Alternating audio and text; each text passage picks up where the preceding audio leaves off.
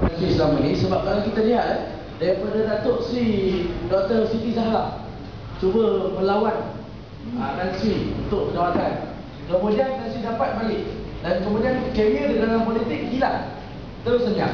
Dan kemudian kan Datuk Sri Syarizal benda yang sama berlaku melawan melawan Tan Sri untuk jawatan dan kemudian terus dalam masa 2 tahun dia terus uh, kalah dari daripada member parlimen dan sekarang ni kita tengok macam-macam jenis uh, tomahan daripada segi NFC daripada segi berbagai jenis masalah yang dilanjutkan kalau dia apa kan? Adakah disebabkan Tan Sri punya perjuangan ini ikhlas?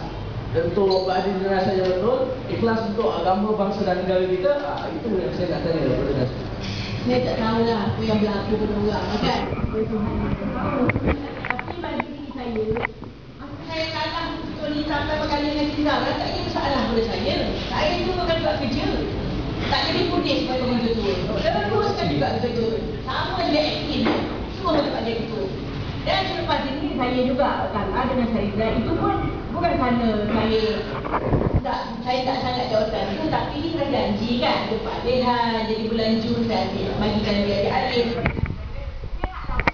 jadi saya kata kalau nak lawan lawan kan kalau menang tu hanya menentukan kalah tak itu salah pada saya tak ikut jawatan ni bagi saya bukan nak bawa masuk setubuh ingat perempuan dan sekalian harta benda dan jawatan tak boleh bawa mati bersama dan saya ingat ni daripada kecil lagi dah apa yang ada ni sebenarnya jadi bila kalah ke menang hak dan ini penentu kerja.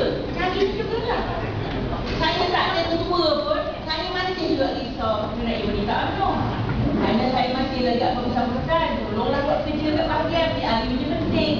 Jangan kita hanya buat program tak ada buat betul-betul buat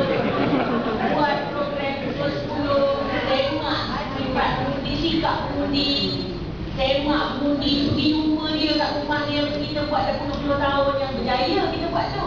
Jangan kita rampang aja kata oh nampaknya okey semua tak?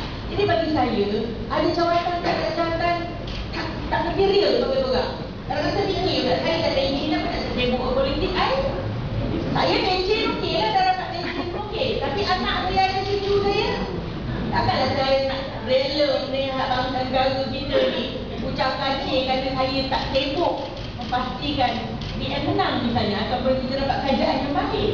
Hmm. saya anak cucu seperti kat orang lain ada cucu. Jadi bagi saya orang aku jadi pada orang tu itu dia punya hak dia punya lah kan. Dia punya apa orang?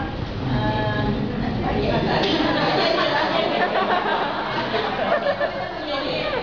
bagi saya ialah lagi ada kederat ada pemikiran saya buatlah semua sedikit untuk memastikan negara terus seperti yang kita dah nak tahu sekarang. Janganlah jejak.